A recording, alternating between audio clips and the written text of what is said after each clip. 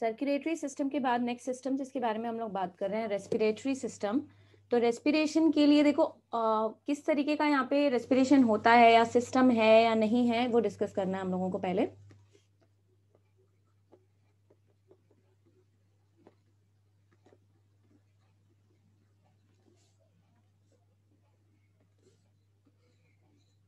Respiratory system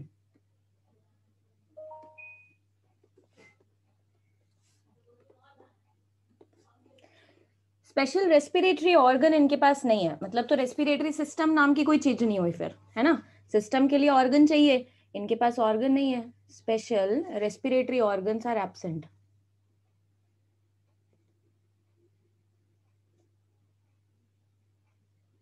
कोई special respiratory organ नहीं है तो मतलब गैसियस एक्सचेंज या रेस्पिरेशन जो है वो कहाँ से हो रहा है? स्किन से हो रहा है। Gaseous exchange occur by skin ठीक है? स्किन बोल लीजिए या फिर जनरल बॉडी सरफेस कह लीजिए।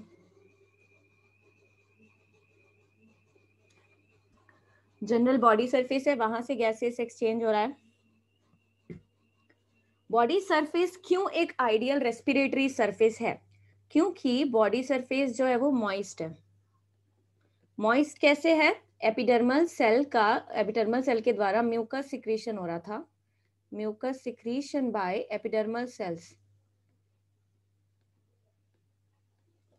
यानी कि एपिडर्मिस के सेल्स के द्वारा म्यूकस का सिक्रीशन हो रहा था, उसकी वजह से जनरल बॉडी सरफेस मॉइस्ट होता है है ना? और क्या चीज़ का सिक्रीशन हो रहा है? सिलोमिक फ्लूइड का सिक्रीशन हो रहा है। तो स्टेटमेंट में रीफ्रेज कर देती हूँ ना शॉर्ट में लिखेंगे हम लोग, ज़्यादा लंबा स्टेटमेंट लिखने का सेंस नहीं यहाँ पे। तो एपिडर्मिस बॉडी सरफेस पे mucus and coelomic fluid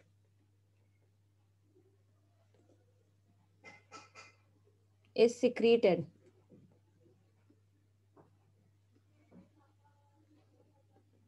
by epidermal cells.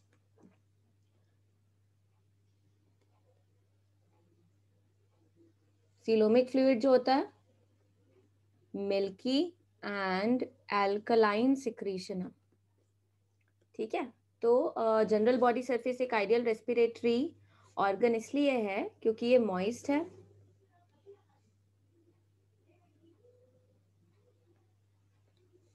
उसके अलावा it is highly supplied with blood vessels highly या फिर richly supplied with blood vessels blood vessels का सप्लाई है यहाँ पे, है ना? तो इसीलिए अच्छा ब्लड क्या नीड क्या है? ब्लड जो है वो ऑक्सीजन लेगा। Blood carries oxygen with respiratory pigment. उस रेस्पिरेटरी पिगमेंट का नाम हीमोग्लोबिन है, जिसको इराइथ्रोक्रूरिन भी कहा जाता है, जो प्लाज्मा में डिजोल्व है है ना? तो गैसियस एक्सचेंज किस तरीके से होता है? इट टेक्स प्लेस यानी कि intake of oxygen intake of oxygen and giving out of carbon dioxide उसे कहा जाता है गैसियस एक्सचेंज ये किसके बीच में होता है? आउटर एपिडर्मिस और blood capillaries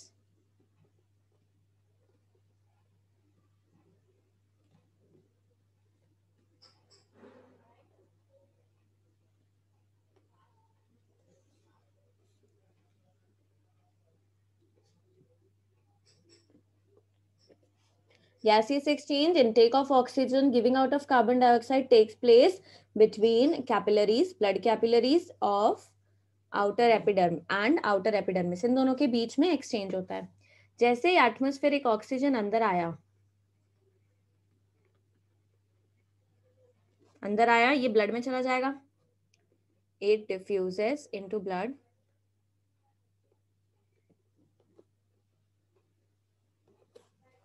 blood में डिफ्यूज होने के बाद क्या होगा? अब कहाँ जाएगा ब्लड में डिफ्यूज होने के बाद? या ब्लड में क्या कर रहा है? हीमोग्लोबिन के साथ कंबाइन कर जाएगा। Diffuses into blood and binds with haemoglobin.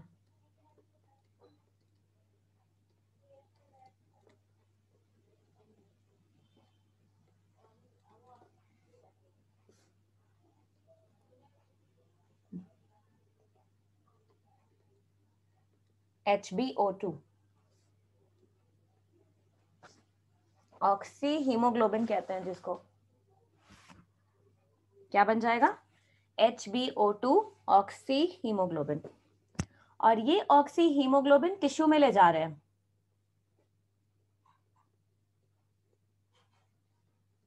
Circulated in body tissues ठीक है? टिश्यू में पहुँच के the H B O two splits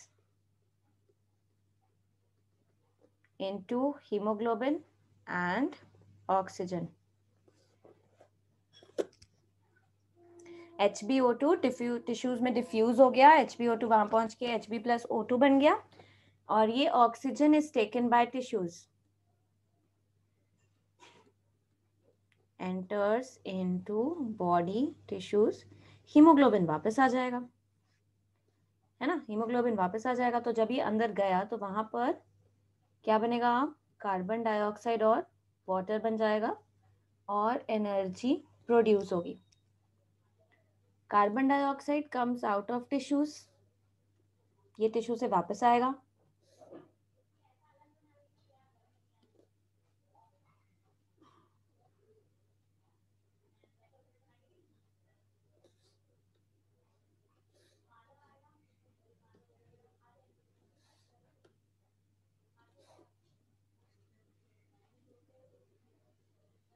CO2 comes out from tissues into the uh, blood and then into the atmosphere.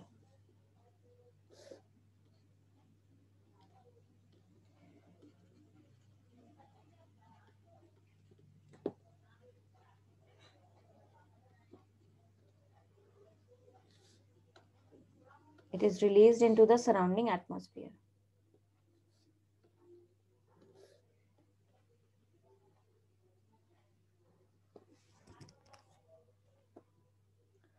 कुछ इस तरीके से ये सारी प्रोसेस जो है वो टेक प्लेस करती है। हीमोग्लोबिन और ऑक्सीजन साथ में टिश्यूज में पहुँचते हैं। टिश्यू में पहुँच के ये टूट जाते हैं और टिश्यू में ऑक्सीजन प्रोवाइड करते हैं। ऑक्सीजन प्रोवाइड करने के बाद टिश्यू में CO2 और वाटर बन जाएगा। ठीक है? और ये ब्लड जो है वो एक डायरेक्शन में सर्कुलेट हो रहा था। कैसे? हार्ट की मदद से। ये हम लोगों ने पढ़ा था। सर्कुलेटरी सिस्टम में, है ना? This is all about the respiratory system proper organ नहीं है कोई भी। नेक्स्ट हम लोग बात कर रहे हैं नर्वस सिस्टम के बारे में, कि अर्थवर्म में नर्वस सिस्टम किस तरीके से होता है। देखिए, काफ़ी अच्छे तरीके से यहाँ पर आप देखोगे कि well developed nervous system is present in earthworm ये ड्रॉ जो हमको यहाँ पे दिखाई दे रहा है नर्वस सिस्टम का, देखिए, ये व्यू वेंट्रल व्यू है। और ये व्यू लेटरल व्यू है। मतलब अर्थवर्म को साइड से देख रहे हैं, ठीक है? अर्थवर्म को कैसे देख रहे हैं? साइड से। ये अर्थवर्म को हम नीचे ज़मीन वाला जो हिस्सा है, उसको वेंट्रल साइड कहते हैं। तो उसके वेंट्रल साइड को देख रहे हैं और ये साइड से देख रहे हैं। तो जब आप लेटरल व्यू देखोगे, इसमें आपको और ज़्यादा अच्छे से समझ में आएगा कि एग्जैक्टली नर्वस सिस्टम कहाँ लोकेटेड है। है ना? कहाँ लोकेटेड है लोकेशन और उसके पार्ट्स ये दोनों चीज़ें हम नर्वस सिस्टम की डिस्कस करेंगे। साइड व्यू को ही लेटरल व्यू कहा जाता है। ठीक है? तो नर्वस सिस्टम किन किन चीज़ों से मिलकर बना है क्या क्या पार्ट्स हैं?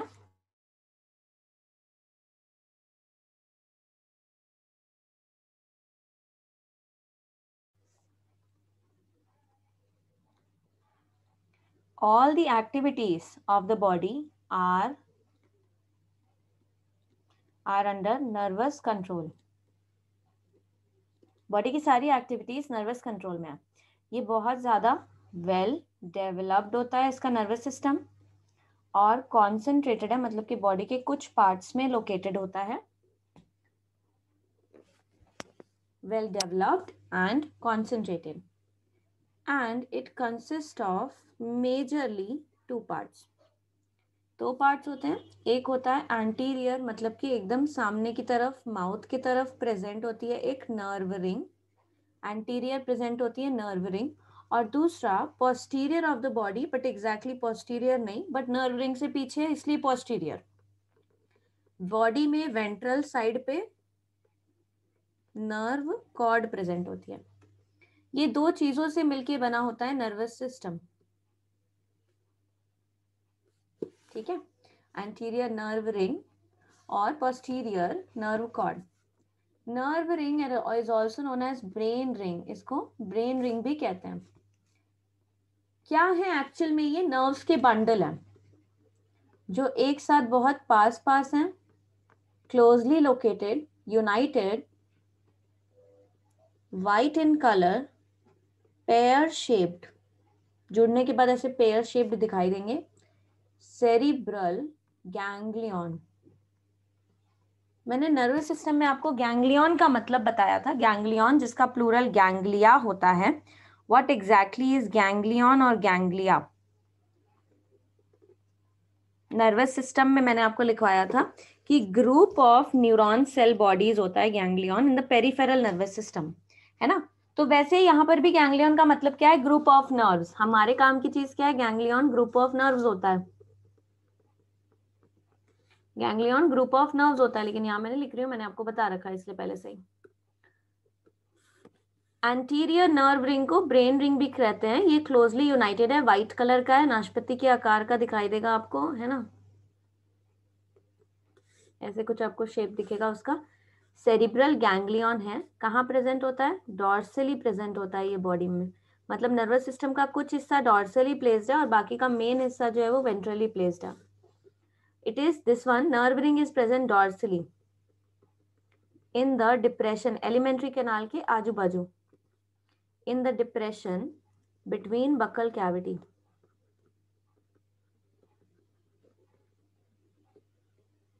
In the depression between buccal cavity and pharynx. In third segment. In third segment third segment में बकल कैविटी और फैरिंग्स जो है, एक थोड़ा सा डिप्रेशन या गड्ढे जैसा हिस्सा बनता है। जस्ट वहाँ पे नर्व रिंग लोकेटेड होती है। ठीक है? जस्ट वहाँ पे नर्व रिंग लोकेटेड होती है। अब ये नर्व रिंग से बहुत सारे और नर्व निकलते हैं, जिन्हें कनेक्टिव कहते हैं। From where from here it give rise it gives rise to thick connectives.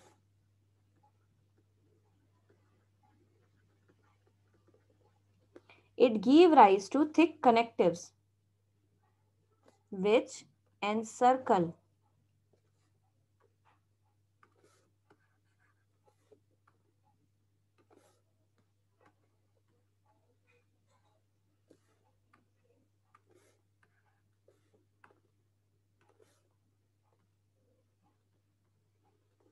which encircle the pharynx and meet ventrally into a pair of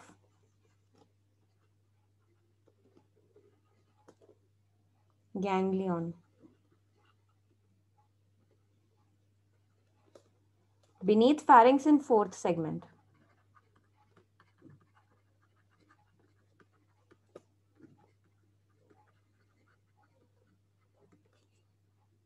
इस ड्रॉ में देखो, अभी सिर्फ़ सुनना लेबलिंग पे मत ध्यान देना।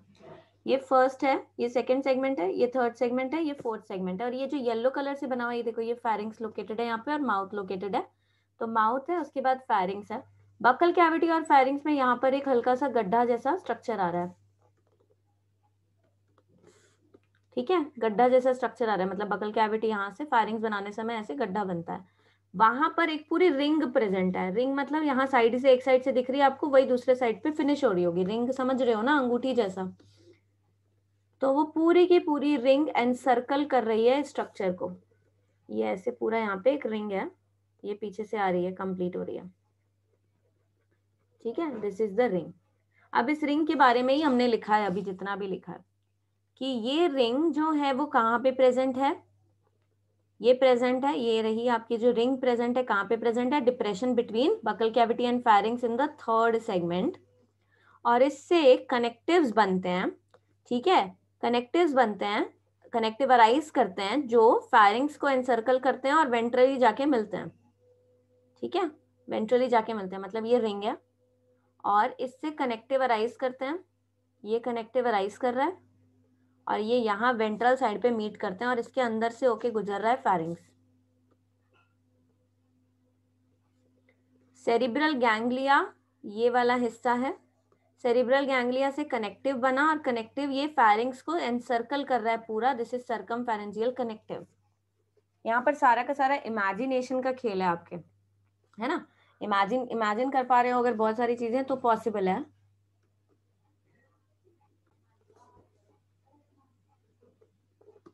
मतलब आप अभी जैसे पेन से लिख रहे हो, है ना? तो आपने एक सेकेंड ये पेन है, इसके आजू बाजू एक रिंग आप ऐसे लगा दो। तो वो जो रिंग होगी, ये है वो। ठीक है? और ये है वो रिंग इस पिक्चर में। गॉट ये रिंग पूरी कंप्लीट होती है ऐसे। ये रिंग का जो सामने वाला हिस्सा होता है this part this is cerebral ganglion है ना? तो नर्व रिंग किससे बनती है? नर्व रिंग बनती है सेरिब्रल गैंग्लियन से कनेक्टिव आ रहा है और ये लोग पूरा ऐसे एक रिंग बनाते हैं। यही लिखा है हमने। नर्व रिंग में क्या क्या चीज़ें प्रेजेंट है? नर्व रिंग में प्रेजेंट है सेरिब्रल गैंग्लियन और फिर सेरिब्रल गैंग्लियन से जो कनेक्टिव अराइज कर रहे हैं, ये पूरा एक रिंग कंप्लीट करते हैं।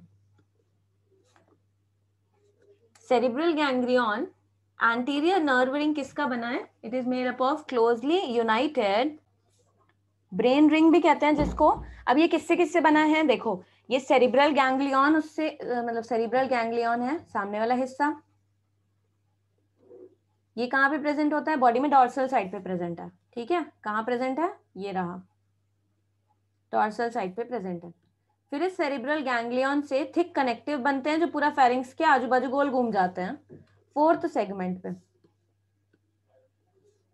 ये इस तरीके से गोल घूम गए यहाँ पे, है ना? दिस वन कंप्लीट तो ये पूरा स्ट्रक्चर एक नर्व रिंग बन गया। मैं आपको पढ़ा रही हूँ एंटीरियर हिस्से में एंटीरियर हिस्से में सेरिब्रल गैंग्लियन बॉडी में डॉर्सल साइड पे। रिंग्स जो है, ये सब कहाँ पे है? ये सब लेटरल साइड पे मतलब कि एक राइट ये देखो लेटरल और ये लेटरल। ठीक है? इस फ़ोटो में डाइजेस्टिव सिस्टम हट रखा है ना, यहाँ पे डाइजेस्टिव सिस्टम नहीं है। तो नर्व रिंग कैसे बन रही है? बकल कैविटी और फैरिंग्स के बीच में डिप्रेशन था और कनेक्टिव आया और पूरी एक रिंग कंप्लीट हो गई। इसे कहते हैं एंटीरियर क्योंकि सामने पे प्रेजेंट है रिंग। एंटीरियर क्यों कहते हैं? क्योंकि सामने की तरफ़ रिंग प्रेजेंट होती है। Complete nerve ring is present around pharynx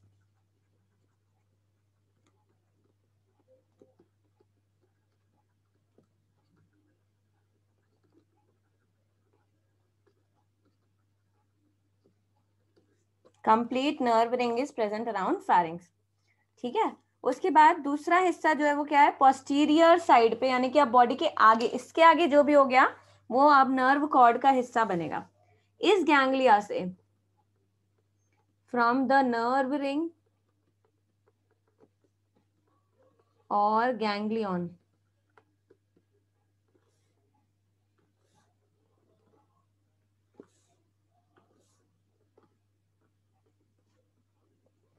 from the nerve ring और गैंग्लियन नर्व कॉर्ड अराइज करती है।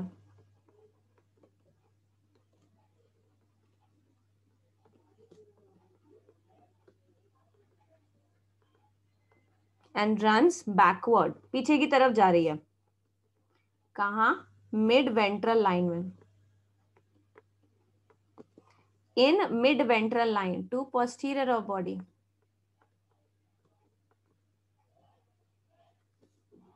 ठीक है? साइड से देखोगे, देखो सामने की तरफ़ ये रही सेरिब्रल गैंग्लिया यहाँ से कनेक्टिव अराइज किया, एक कनेक्टिव पीछे की तरफ़ से अराइज किया, ठीक है? ये लोग सामने आके जुड़ गए। ये है डॉर्सल साइड ये रहा सेरिब्रल गैंग्लियन ये रहे दोनों कनेक्टिव और ये वेंट्रल साइड पे जुड़ते हैं, और अब क्या बनता है? नर्व कॉर्ड, और ये कहा है बॉडी के? वेंट्रल साइड पे। तो नर्व रिंग या गैंग्लियन से एक नर्व कॉर्ड अराइज करता है और पीछे की तरफ़ जाता है बॉडी में पोस्टीरियर तरफ़ जाता है और ये कहाँ लोकेटेड होता है? वेंट्रल ऑफ़ द बॉडी में लोकेटेड होता है। वेंट्रल और पोस्टीरियर अलग अलग बातें हैं बेटा। पीछे वाला हिस्सा पोस्टीरियर हो जाएगा, इस तरफ़ वाला हिस्सा वेंट्रल हो जाएगा। This is posterior this is dorsal this is anterior dorsal ventral posterior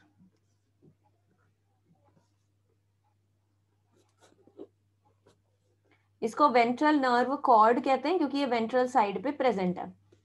इसमें हर थोड़ी थोड़ी देर देर पे या दूर पे it has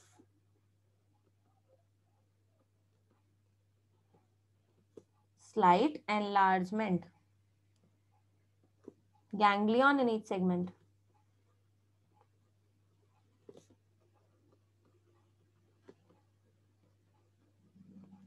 Ganglion in each segment ठीक है? मतलब कि ये जो वेंट्रल नर्व कॉर्ड चल रही थी, ये ऐसे गुच्छे बनाएगा हर सेगमेंट पे। है ना? गुच्छे मतलब कि नर्व के गुच्छे बनेंगे, बहुत सारे न्यूरॉन्स के गुच्छे बनेंगे, जिसे कहते हैं। So it has a slight enlargement that is ganglion in each segment उन्हें कहा जाता है सेगमेंटल गैंग्लिया एक बार चेक करते हैं नॉलेज अपनी। सेरिब्रल गैंग्लिया ब्रेन वाला गैंग्लिया साइड वाले कनेक्टिव सरकम फैरेंजियल क्योंकि फैरिंग्स के आजू बाजू है, पूरा सर्कल कर रहे हैं, इसलिए circumpharyngeal connective just pharynx के नीचे पहुँचे, यहाँ फूला हुआ दिख रहा है? देखो, एक ये फूला हुआ, फिर ये फूला हुआ, फिर ये फूला हुआ, फिर ये फूला हुआ, ये सब क्या कहलाते हैं? गैंग्लियन जस्ट फैरिंग्स के नीचे सब फैरेंजियल ये पूरी नर्व कॉर्ड है, और ये देखो छोटे छोटे यहाँ पे, ये फूला हुआ है ना, इतना हिस्सा, यहाँ पे स्वोलन है। तो हर सेगमेंट में जो बनते हैं, उन्हें क्या कहते हैं? सेगमेंटल गैंग्लिया कहते हैं।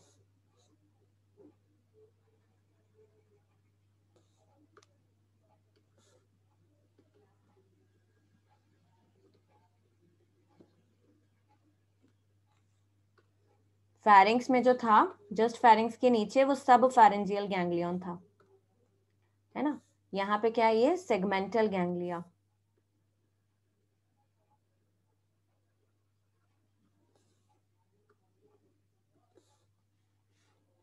सेगमेंटल गैंग्लिया हर पार्ट में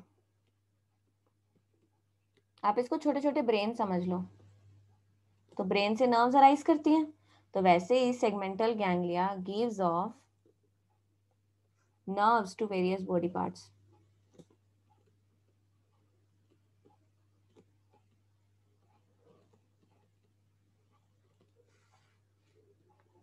These nerves carry sensory information.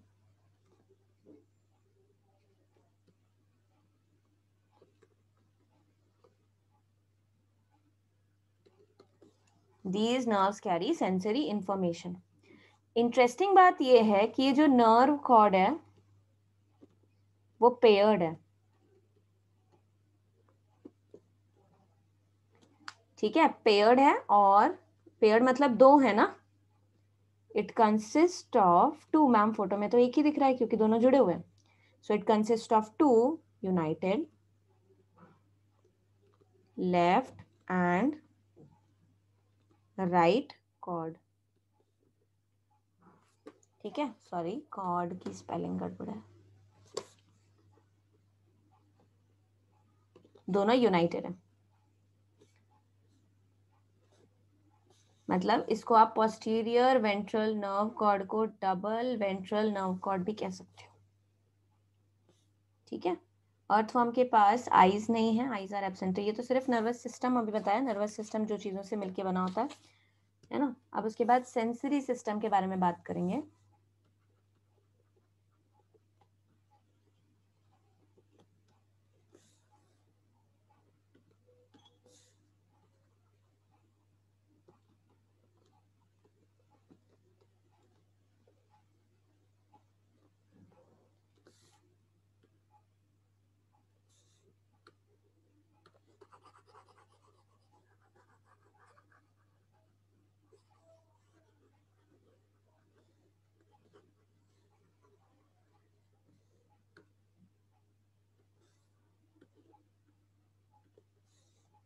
Sensory system sensory system बना हुआ है वेल डेवलप्ड सेंस ऑर्गन को रिसेप्टर कह रहे हैं यहाँ पे रिसेप्टर सेल्स का, जो रिसीव करते हैं। ठीक है? रिसेप्टर सेल जिन्हें हम कहेंगे सेंसरी रिसेप्टर्स हैं ये। They are sensory receptors quite simple in structure तीन प्रकार के हैं। फ़ोटो रिसेप्टर्स लाइट सेंसिटिव होंगे। ठीक है? टच सेंसिटिव रिसेप्टर्स हैं। फ़ोटो रिसेप्टर्स देखिए कहाँ है। लाइट सेंसिटिव जिनको हम कहेंगे। ये कहाँ पे प्रेजेंट होते हैं? Dorsal side of the body present on dorsal surface of body body के डॉर्सल सरफेस पे मतलब स्किन के साइड पे ही प्रेजेंट है। ठीक है? और एंटीरियर रीजन में मतलब सामने सामने तरफ़ बहुत है। Numerous in anterior region dorsal anterior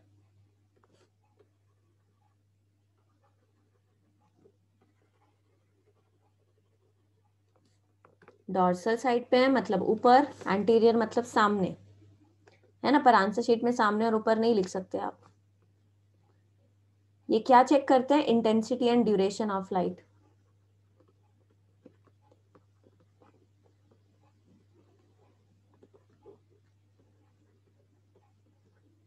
कितनी इंटेंस लाइट है, कितनी देर के लिए है? एपिडर्मल या टच रिसेप्टर टेक्टाइल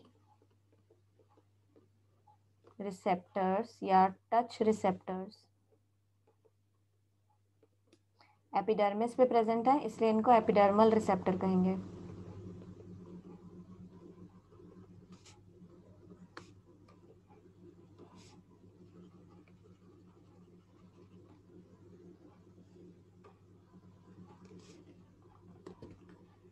पूरी एपिडर्मिस में डिस्ट्रीब्यूटेड है। Distributed all over the epidermis पूरी की पूरी एपिडर्मिस लेयर में डिस्ट्रीब्यूटेड होता है।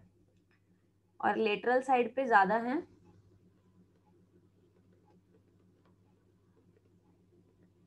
एंड वेंट्रल साइड पे ज़्यादा है। मतलब डॉर्सल साइड पे कम है बोल सकते हो आप। ठीक है लेटरल पे ज़्यादा है वेंट्रल पे ज़्यादा है। टच से रिस्पॉन्ड करते हैं, है ना? They allow to feel the vibrations on ground. मतलब कि ग्राउंड पे जो वाइब्रेशंस हो रहे हैं, वो फील करवाने में हेल्पफुल हैं ये receptors third receptor buccal receptor या टेस्ट रिसेप्टर के बारे में बात करें. Buccal receptors these are taste receptors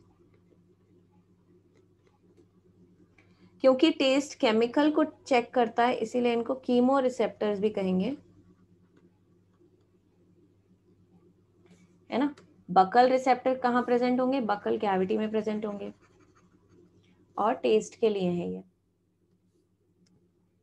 Buccal chamber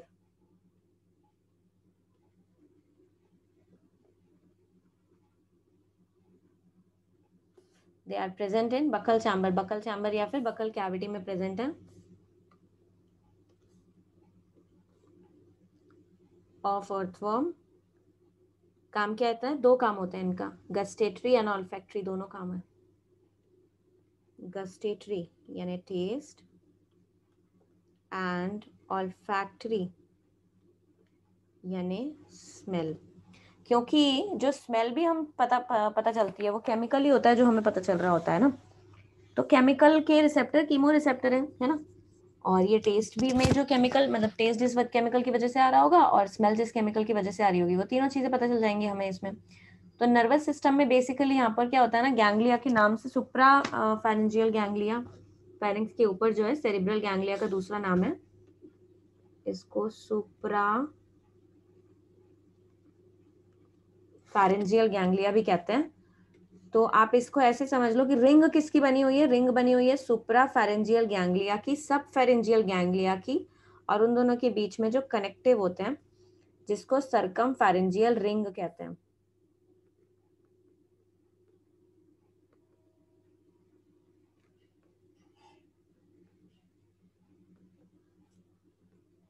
सरकम pharyngeal ring क्यों कहते हैं? क्योंकि फेरिंग्स के को सर्कल करती है तो सरकम फेरेंजियल रिंग कहते हैं। तो इन तीनों को मिला के पूरी रिंग बनती है।